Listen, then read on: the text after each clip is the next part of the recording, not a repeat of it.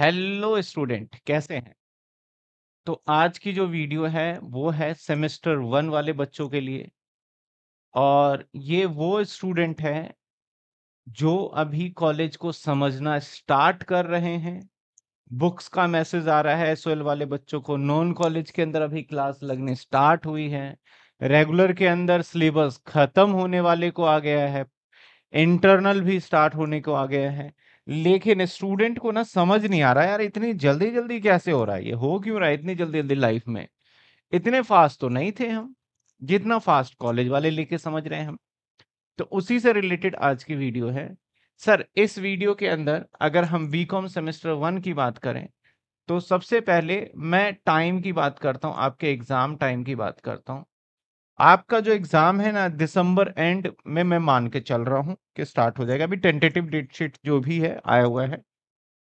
तो दिसंबर एंड में जनवरी फ़र्स्ट में स्टार्ट हो जाएगा, ठीक है? सबसे पहले, सर, आपके पास अक्टूबर में जो चल रहा है, कितने दिन? सर, ओहो, बीस दिन तो बचे ही नहीं। कितने दिन? दस दिन। नवंबर के मंथ में, नवंबर के मंथ में तीस दिन। और सर, दिसंबर के मंथ में मात्र थर्टी डेज़ और आपके हो गए सेवेंटी डेज़। और सत्तर दिन और चैलेंज है हमारे पास सर, सात सब्जेक्ट। जो सारे सब्जेक्ट अपने आप में बहुत ही इंपॉर्टेंट है। अब यहाँ पे कुछ बच्चे जो सीए फाउंडेशन की तैयारी कर रहे हैं या सीएस की तैयारी कर रहे हैं या सीएमए की तैयारी कर रहे हैं। नंबर वन कुछ बच्चे एक्स्ट्रा करिकुलम के अंदर या फिर आपका कंप्यूटर से रिलेटेड कोई भी कोर्स कर रहे हो। मैं आप सभी को कहना चाहूँगा कि फ़िलहाल के लिए आप इन पे उतना फोकस मत करिए जितना आप पहले फोकस करके चल रहे थे। आपको अपने बीकॉम के ऊपर भी फोकस करना पड़ेगा। सर बीकॉम का जो सिलेबस है ना, वो बहुत ज़्यादा कर दिया गया है एनईपी के अंदर। तो जितने बच्चे रेगुलर के हैं नॉन कॉलेज के हैं एस के स्टूडेंट हैं, वो इस बात को समझिए। आपको पता भी नहीं चलेगा, आपके पेपर आ जाएँगे डेट शीट डेट शीट आ ही चुकी है ऑलमोस्ट और इसके बाद रोल नंबर आ जाएगा, आप सेंटर पे जब पेपर देने जाओगे तो यार बहुत जल्दी बहुत कुछ हो गया। तो दिस इज़ राइट टाइम के आप अलर्ट हो जाओ। अलर्ट होने के साथ साथ कैसे किस सब्जेक्ट की तैयारी करने हैं, वो सारी चीज़ें भी समझो। तो अभी बेसिकली आपको सारी चीज़ों का नॉलेज नहीं है स्कूल के अंदर तो ट्यूशन स्टार्टिंग से लग जाता था हमारा ट्वेल्थ के बाद और टीचर सारी चीज़ें बताते जाते थे स्टार्टिंग से। लेकिन अब कहीं ना कहीं एक कम्युनिकेशन टीचर से गैप आ गया है क्योंकि हम कॉलेज में चले गए हैं और साथ के साथ हमें लगता है कि यार हम सेल्फ प्रैक्टिस कर लेंगे। और कहीं ना कहीं ऐसा इन्वायरमेंट भी बना हुआ है कि यार यहाँ पे तो तू बस ये कर लियो, पास हो जाएगा इस तरीके से। तो आज हम इन सभी बातों पे चर्चा करेंगे कि सर किस तरीके से। बेसिकली मैं आज आपको एक स्टडी प्लान और कैसे पढ़ा जाए, हमारा फाइनेंशियल अकाउंट को उसके ऊपर चर्चा करते हैं। तो सर फाइनेंशियल अकाउंट की बात करें तो हमारा फाइनेंशियल अकाउंट जो एफए है, जो हमारा है फाइनेंशियल अकाउंट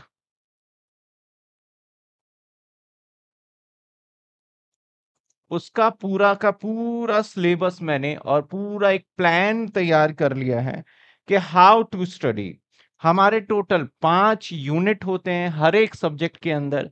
पढ़ने का क्या तरीका होना चाहिए? वो सारी बातें हम इस वीडियो के अंदर डिस्कस करेंगे। तो सर, सबसे पहले हम बात करें फ़र्स्ट यूनिट का। तो फ़र्स्ट यूनिट जो है, यूनिट ये हमारा 15 मार्क्स का है। यूनिट नंबर टू जो है, ये हमारा 20 मार्क्स का डीयू ने डिज़ाइन किया हुआ है। यूनिट नंबर थ्री भी 20 मार्क्स का और यूनिट नंबर फोर 25 मार्क्स का और यूनिट फाइव भी 20 मार्क्स का। सर इन सभी में हमें कौन से चैप्टर को पहले पिकअप करना चाहिए? किस तरीके से स्टडी करें? क्योंकि बच्चे ने अगर ये वाला चैप्टर उठा लिया, महीना निकल जाना है, लेकिन समझ ही नहीं आएगा, ये खत्म नहीं हो रहा। फिर बच्चा क्या करेगा? इस वाले टॉपिक को उठा लेगा, फिर से दिक्कत आ जाएगी। तो हमें मैं आपको जो ये प्लान बताने जा रहा हूँ, आपके इलेवन ट्वेल्थ को बेस को ध्यान रखते हुए कि इलेवन ट्वेल्थ में आपने कौन से चैप्टर करे हुए हैं, उसी के अकॉर्डिंगली चैप्टर को पिकअप करें ताकि आपका सिलेबस भी खत्म हो जाए और आपको इस सब्जेक्ट के अंदर इंटरेस्ट भी आने लगे, है ना? तो चलिए सर अगर हम देखते हैं तो हमें सबसे पहले हमें ओवरव्यू दे देता हूँ यूनिट वन के अंदर कहता है theoretical framework and accounting process यानी कहीं ना कहीं ये थियोरिटिकल चैप्टर है और इसके अंदर हमें क्या क्या अंडरस्टैंडिंग करने को कहा गया है? कहा गया है कि आप अजम्पशन एंड प्रिंसिपल को पढ़िए। जैसे going concern full disclosure prudence principle materiality principle या फिर आपका बिज़नेस एंटिटी वो समझिए। उसके बाद बोला गया है कि what is the accounting standard या फिर इंडीएस जो कि अभी अभी आया अभी बहुत पहले से आ गया लेकिन सिलेबस में अब दिखने लगा है तो ये है क्या? इसकी अंडरस्टैंडिंग लीजिए। थर्ड आईएफआरएस या गैप की बात करें तो ये क्या है? इसकी अंडरस्टैंडिंग लीजिए। और जीएसटी के एंट्री बेसिक टर्म्स और इसके सारे इनपुट सेटअप वगैरह की एंट्री आपको समझना होगा। तो ये बेसिकली थ्योरेटिकल पार्ट है और ये बहुत अच्छी चीज़ है कि आपका इंट्रोड्यूस किया गया है, क्योंकि आप बीकॉम के बाद अगर कोई ऐसा कोर्स करते हो फ्यूचर के अंदर इंटरनेशनल कोर्स तो ये बहुत हेल्प करता है चैप्टर ये सारे चैप्टर उसके अंदर एमसीक्यू में क्वेश्चंस पूछे जाते हैं। तो ये पंद्रह नंबर का रखा गया है, ज़्यादा मार्क्स का नहीं है। तो यानी सर थियोरिटिकल क्वेश्चन तो पक्का है। अब पेपर कैसा आता है, एक बार मैं वो बता दूँ आपको। फिर हम इसके ऊपर चर्चा करते हैं। सर, पेपर कैसा आएगा आपका? सर, क्वेश्चन पेपर कैसा बनेगा? सर, जो क्वेश्चंस पेपर बनेगा ना, मैं आपके सामने question paper number, question number one, question number two, question number three, question number four and question number five. बस पाँच ही क्वेश्चंस आएँगे आपके पेपर में, इस बात का ध्यान रखिएगा। इससे ज़्यादा नहीं आने वाला। तो सर, इसके अंदर ऐसा रहेगा कि इसके अंदर ए पार्ट बी पार्ट और में ए पार्ट और बी पार्ट। इस तरीके से आपका ये क्वेश्चन बनेगा आपका, जिसके अंदर थ्योरी वाला पोर्शन कवर किया जाता है। क्वेश्चन नंबर टू में भी ए पार्ट बी पार्ट और ए पार्ट और बी पार्ट। इसके अंदर आपका यूनिट नंबर टू से है। इसके अंदर यूनिट नंबर थ्री से क्वेश्चन बनेगा आपका। ए पार्ट ए पार्ट ही होगा और ए पार्ट क्योंकि बड़े चैप्टर है फाइनल अकाउंट और एनपीओ के अंदर बेसिकली चॉइस आएगा। यूनिट नंबर फोर इसके अंदर ए पार्ट बी पार्ट और इनफैक्ट सी पार्ट भी हो सकता है और A part B part C part और ये कंप्यूटराइज अकाउंटिंग से बना दिया जाएगा। तो ओवरऑल देखा जाए तो इस तरीके से आपका पेपर डिज़ाइन होने वाला है। मैं लास्ट ईयर का एक बार आपसे डिस्कस कर लेता हूँ, मैं टेन ईयर देख लेता हूँ, मेरे पास अगर पड़ा हुआ है पड़ा हुआ तो होना चाहिए हमारे पास टेन ईयर ये देखिए, मेरे पास लास्ट ईयर का, ये लास्ट ईयर का पेपर भी इसमें इनकॉर्पोरेट है, जो कि मैंने पूरे अच्छे से इसमें डिज़ाइन किए थे। सारी चीज़ें, आपके रूल एंड डेबिट क्रेडिट सारे चार्ट्स वगैरह सब कुछ डाले थे। ये टेन ईयर है बेसिकली सभी बच्चे लेंगे आगे चल के। तो इसमें मैं पेपर थोड़ा सा ओवरव्यू अगर मैं लास्ट ईयर का सॉल्यूशन भी डाल दिया है इसके अंदर, ऐसा नहीं कि आपको पता चल जाएगा 2023 के अंदर जो फेब मार्च में पेपर हुआ था, उनका फेब और मार्च में हुआ था, लेकिन आपका जैन में ही पेपर हो जाएगा, दिसंबर एंड में। तो सर, इसमें पहला क्वेश्चन ए पार्ट थ्योरी था। सर, इसी के साथ साथ देखा जाए, इसके अंदर जो दूसरा क्वेश्चन आया था, ए पूरा थ्योरी था। दूसरा क्वेश्चन जो आया था, वो पूरा का पूरा ए एस टेन इन्वेंट्री और उसके ऊपर था। जो तीसरा क्वेश्चन आया था, पूरा फाइनल अकाउंट आया था। बिल्कुल वैसे ही यूनिट वाइज जैसे मैं बोल रहा हूँ और जो चौथा क्वेश्चन आया था, मैं तो पढ़ के बता रहा हूँ, आपको क्वेश्चन पेपर का डिज़ाइन बता रहा हूँ, आप समझ जाएँगे इस बात को। जो चौथा क्वेश्चन आया था, बिल्कुल ब्रांच डिपार्टमेंट से आया था, ब्रांच और डिपार्टमेंट से आया था, और जो हमारा पांचवा क्वेश्चन आया था, कहाँ गया भाई साहब पांचवा क्वेश्चन? पांचवा क्वेश्चन पांचवा क्वेश्चन डिपार्टमेंटल कंप्यूटराइज, इन सबको थोड़ा सा मिक्स करके बनाया गया था। तो ओवरऑल मैं बताना चाहता हूँ कि पेपर इस हिसाब से डिज़ाइन होगा। चलिए आ जाइए हमारे सिलेबस पे। सिलेबस थोड़ी सी वीडियो लंबी ज़रूर हो जाएगी, लेकिन मैं सारी बातों को एक भी पॉइंट में छोड़ना नहीं चाहता। तो सर, ये वाला यूनिट समझ में आ गया पंद्रह। ठीक है, मैं पहले किसमें क्या है वो बात कर लेते हैं। इसके बाद पहले किसको क्या करना है। यूनिट नंबर टू में, property, plant and equipment. That is ये आपका सिंपल शब्दों में समझे तो डेप्रीशिएशन चैप्टर है एंड नथिंग एल्स आपको डराया जा रहा है प्रॉपर्टी प्लांट एंड इक्विपमेंट बोल के। ये कोई ऐसा चैप्टर नहीं है। ये एएस अकाउंटिंग स्टैंडर्ड का नाम है। दैट इज़ अकाउंटिंग स्टैंडर्ड 10 और जो है डेप्रीशिएशन एएस 10 को बार बार बताया जाता है बच्चों को। बच्चों का दिमाग खराब हो जाता है। Sir property plant and equipment कौन सा चैप्टर आ गया? कैसा चैप्टर आ गया? इतना बड़ा नाम है। भैया, ये डेप्रीशिएशन का ही दूसरा नाम है, एक तरीके से समझिए। इसमें आपको इन्वेंट्री जिसमें LIFO FIFO A S two का आपको होगा। मैंने लाइव क्लास में तो करा दिया है। A S nine revenue recognition के एक रेवेन्यू को कैसे रिकॉग्नाइज किया जाए, कब हम रेवेन्यू को लिख लेंगे, क्या रूल्स हैं? A S twenty six intangible assets किस तरीके से हम इंटेंजिबल एसेट्स का ट्रीटमेंट करेंगे? गुडविल को कैसे राइट ऑफ़ करना है? पेटेंट को कैसे राइट ऑफ़ करना है, उसके ऊपर रूल एंड रेगुलेशन क्या है, ये बताया गया है ए, यूनिट टू में। यूनिट थ्री, फाइनल अकाउंट और एनपीओ।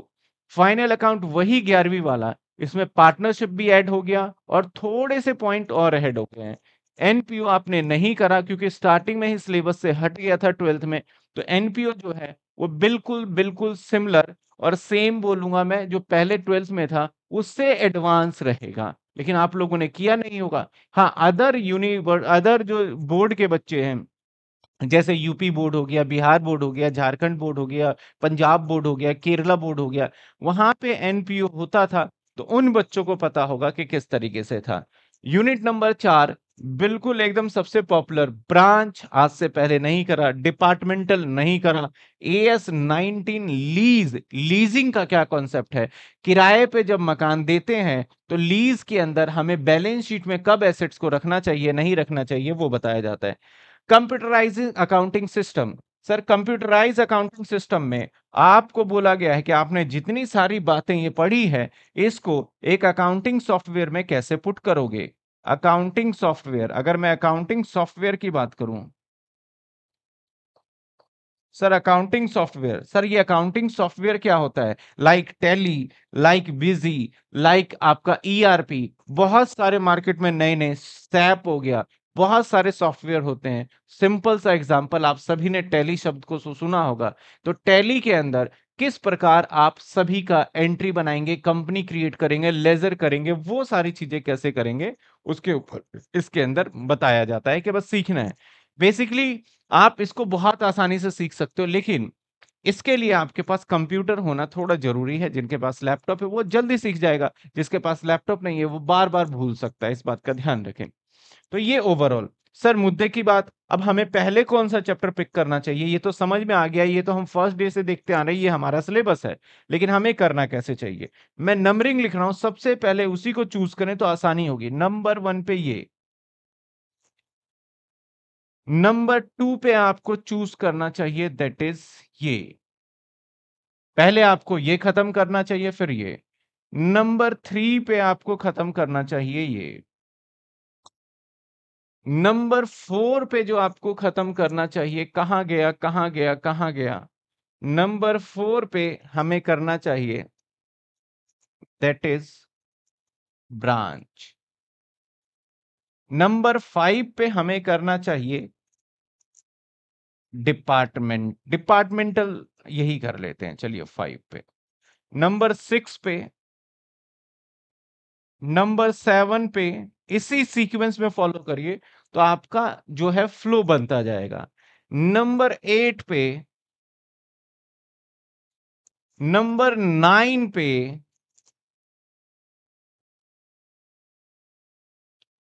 नंबर टेन पे ये यूनिट फॉलो करना है। और नंबर इलेवन पे सबसे लास्ट में ये यूनिट फॉलो करना है। अब सर, किस यूनिट में हमें कितना टाइम लगना चाहिए? क्योंकि हम करने बैठे, आपने बोला नंबर वन पे ये करिए और पता चला दो महीने इसी चैप्टर में निकाल दिए तो वो भी ठीक नहीं है। तो उसके लिए भी मैं मार्क कर देता हूँ कि किस यूनिट को किस हिसाब से करना चाहिए। ओके सर सर जो ये नंबर वन पे है, इसके साथ साथ लिखता जा रहा हूँ। इसमें ज़्यादा से ज़्यादा आप फाइव डेज़ लीजिए, पाँच दिन। इससे ज़्यादा मत लीजिएगा, पाँच दिन।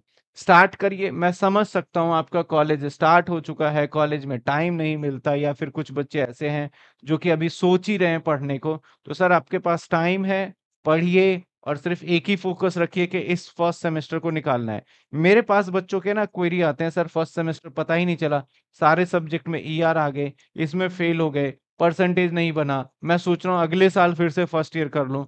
तो वो नव्वत आपके साथ ना आए। ऐसी कोई सिचुएशन आपके साथ ना आए, इसलिए मैं कह रहा हूँ कि अभी से अवेयर रहिए, अभी से पढ़िए, ठीक है? समय पता भी नहीं चलेगा। तो ये पाँच दिन, मैं ग्रीन मार्कर से कर रहा हूँ, that is a five days लगना चाहिए आपका। नंबर टू पे हमने करा था डेप्रीशिएशन डेप्रीशिएशन के अंदर फोर डेज़ लगाना है आपको, ठीक है? Four days. नंबर तीन पे इन्वेंट्री, सर दो दिन। जितने दिन में हो सकते हैं चैप्टर जेनुअनली वो मैं बता रहा हूँ। नंबर तीन के बाद नंबर चार पे, इसमें भी सर पाँच दिन लगाएँ। इसमें भी कितने दिन लगाएँ? पाँच दिन लगाएँ। मैं सर्कल करता जा रहा हूँ। सर डिपार्टमेंटल में चार दिन लगाएँ इसके अंदर ठीक है? नंबर छ पे ए एस नाइन सर इसे एक दिन में खत्म करें और इसे भी एक दिन में खत्म करें। तो आप टाइम देखिए चार दो छ छ के बाद छ सबसे पहले आ, मैं पूरे पहले एक बार लिख लेता हूँ फिर टाइम मैं इसके अंदर डिसाइड करूँगा। इसके बाद सर हमारा आ जाता है ए एस नाइनटीन सर, इसके अंदर आपको दो से तीन दिन तीन दिन मान के चलिए, अच्छे से पढ़ के जाइएगा, सवाल ज़रूर पूछा जाएगा इसमें से, ठीक है? A S nineteen. इसके बाद, इसके अंदर आपको कम से कम कम से कम मैं मान के चल रहा हूँ कि आपको पंद्रह दिन देने पड़ेंगे, इसलिए लास्ट में रखा है मैंने। इसके अंदर भी ज़्यादा लगेगा, वैसे मैंने कम काम टाइम लिया है। पंद्रह दिन आपको इसमें देने पड़ेंगे। फाइनल अकाउंट में ज़्यादा टाइम लग सकता है क्योंकि एडजस्टमेंट होता है, सर। इसको थोड़ा सा चेंज कर देते हैं। फाइनल अकाउंट में आप दस दिन दे दीजिए, ठीक है, उसके अकॉर्डिंग। क्योंकि ये थोड़ा सा बड़ा है, एक ही क्वेश्चन आता है और फुल फ्लेज रहता है तो क्वेश्चन प्रैक्टिस मैंने मैक्सिमम डेज़ बोला है देने के लिए, ठीक है। इसके बाद सर, ये थ्योरिटिकल पोर्शन है, इसको पढ़ने के लिए जनरली कोई देता नहीं है टाइम, लेकिन मैं फिर भी कहूँगा, इसमें पाँच दिनों का समय दीजिए। इसके बाद सर कंप्यूटराइज सिस्टम जो लास्ट में करेंगे, इसमें दो दिन का टाइम दीजिए आप पढ़ने के लिए, बस पढ़ना याद करना है। तो टाइमिंग अगर काउंट करें तो दस, पंद्रह, पच्चीस पच्चीस, छब्बीस, सत्ताईस सत्ताईस और दो, उनतीस और चार, तैतीस तैतीस और पाँच, अड़तीस दिन हो गए हमारे, अड़तीस दिन हो गए और अड़तीस के बाद पाँच, अड़तीस और पाँच, तिरतालीस दिन, तिरतालीस के बाद चार दिन इसमें लगाना है, सैतालीस दिन और तीन इसमें, पचास और दो, बावन दिन। यानी कहीं ना कहीं अगर हम सिस्टमेटिक तरीके से पढ़ें तो हम 55 डेज़ में कंप्लीट कर सकते हैं। और हमारे पास सर टाइम कितना है? 70 डेज़ अब इसके बाद आपके पास 55 डेज़ के बाद जो भी 10 दिन बच रहे हैं इसके अंदर, क्योंकि फेस्टिवल का सीज़न है और ट्वेल्थ पास किया है तो अभी आपके अंदर क्रेज है कि भैया हमें दिवाली, दशहरा या फिर बहुत सारे फेस्टिवल आप सेलिब्रेट करो, चाहे बॉय हो, चाहे गर्ल्स हो, दोनों के केस में ये रहेगा। तो मैं मान के चल रहा हूँ पचपन दिन ये और मैं मान के चल रहा हूँ पाँच दिन तो आप बर्बाद कर देंगे आपके फेस्टिवल में तो हो गए साठ दिन। अब मात्र दस दिन बचता है, उस दस दिन के अंदर हम इसको रिवाइज कर सकते हैं, ठीक है? मैंने अपने पास लाइव सेशन में काफ़ी चैप्टर करा दिया मैंने तो बच्चों को ऐसे कहा है कि भाई तुम जाओ, सारी लेटेस्ट रिकॉर्डिंग भी कर दिया, आप रिकॉर्डिंग भी ले लो और लाइव भी ले लो। अभी फ़िलहाल हम यूट्यूब पे जो डाल रहे हैं चैप्टर, फाइनल अकाउंट चल रहा है जो कि बहुत जल्दी खत्म हो जाएगा। और प्योरली हम बुक को फॉलो कर रहे हैं और टेन ईयर के भी क्वेश्चन हम करवा रहे हैं, ठीक है? सर, पढ़ने का क्या तरीका होना चाहिए? कैसे पढ़ा जाए? तो सबसे पहले आपको क्या करना है सर? आपको बुक फॉलो करना है। Book follow. कोई भी, दो बुक है। एक है आपका जे आर मोंगा प्लस एक है आपका बी के गोयल भूषण कुमार गोयल ठीक है? मान लेते हैं, इसमें से हमने फाइनल अकाउंट कंप्लीट कर लिया। कोई भी जिनके पास बुक है फाइनल अकाउंट और लेटेस्ट बुक होना चाहिए, ध्यान रखिएगा, पुरानी बुक नहीं चलेगी। और पीडीएफ वीडीएफ के चक्कर में मत करना, ज़िंदगी खराब हो जाएगी उसके अंदर। प्लस इसके बाद हमें टेन ईयर पिक करना है। इसके बाद हमें क्या पिक करना है, सर? टेन ईयर पिक करना है। आप देखेंगे किताब के अंदर, किताब के अंदर देखेंगे।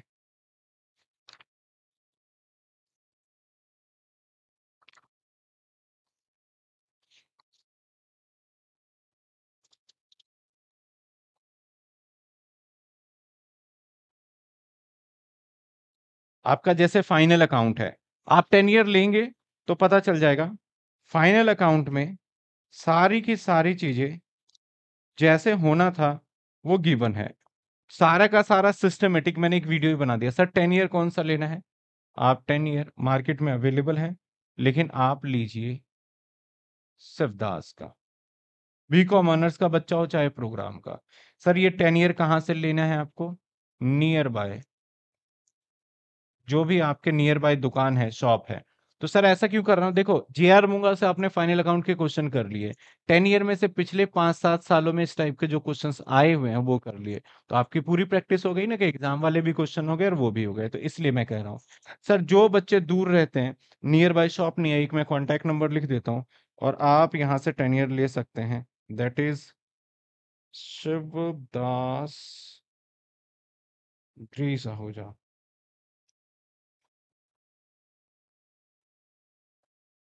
हम्म, कहाँ गया नंबर? ये रहा। आप इस नंबर पे कॉल करेंगे। वैसे इनकी वेबसाइट भी है वेबसाइट से भी ऑर्डर कर सकते हैं। बाकी नियर बाय जो भी शॉप बुक स्टेशनरी शॉप है मिल जाएगा वहाँ पे शिवदास का टेन बाकी मैं नंबर दे देता हूँ अगर कोई दिक्कत आता है। Seven zero triple one four seven six three zero. ये रहा हमारा नंबर। इनका नाम मिस्टर ग्रीस जी है। ठीक है ना? मिस्टर ग्रीस जी हैं। ये सभी बच्चे इसको इस तरीके से ले सकते हैं। तो होपफुली आपको हेल्प मिला होगा इस वीडियो से। तो 50 से 55 दिन में हमें सिलेबस खत्म करना है। सारे सिलेबस को मैं यूट्यूब पे भी बहुत जल्दी जल्दी वीडियो डालने की रेगुलर डाल रहा हूँ, मैं कोशिश कर रहा हूँ कि एक दिन में दो वीडियो भी आपके लिए हो जाए। जो बच्चे पेड कोर्स में आना चाहते हैं, आ सकते हैं। जो बच्चे यूट्यूब पे पढ़ रहे हैं, पढ़ सकते हैं। जो अदर ट्यूटर के पास पढ़ सकते हैं पढ़ सकते हैं। मुद्दा एक ही है कंक्लूजन एक ही है भाई अब पढ़ना स्टार्ट कर दो चाहे कैसे भी पढ़िए ठीक है? तो मिलते हैं हम नेक्स्ट किसी ऐसे ही इंटरेस्टिंग आपके अदर सब्जेक्ट जैसे बिज़नेस लॉ है या फिर बिज़नेस ऑर्गेनाइजेशन मैनेजमेंट है उसके ऊपर हम इसकी वीडियो लेके आएँगे। थैंक यू सो मच मिलते हैं नेक्स्ट वीडियो में।